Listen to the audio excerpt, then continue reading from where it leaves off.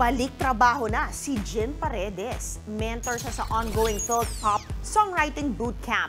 Limang buwan nang nakakaraan mula ng huling magparamdam ang Apo Hiking Society member matapos kumalat ang kanyang sex scandal sa social media. Sa, sa ngayon, gusto raw muna niyang mag-focus sa paggawa ng musika. You know, I just want to. We make music. I, I'm just a, I'm just an artist. I come up with stuff, you know. Enjoy them at your pleasure. I'm grateful and I'm hopeful that I will continue to write the mm. soundtrack of their love lives, their their life as they get old,